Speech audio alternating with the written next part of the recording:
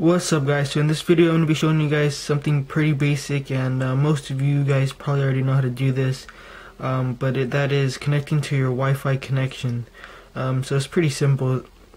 All you have to do is go into settings go into Wi-Fi make sure it's on and then your um, Wi-Fi thingy should show up right there so that's my name automatically connected.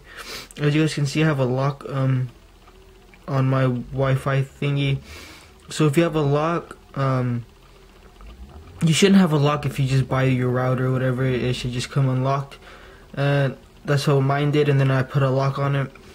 And um, or unless you have like some like a router from like AT&T or like one of those um, phone companies, and I think it'll automatically come with a lock. And um, the password for those, they're in brackets. It's a long number. Um, they're just in brackets, and you just type in that um, that number into the password thing,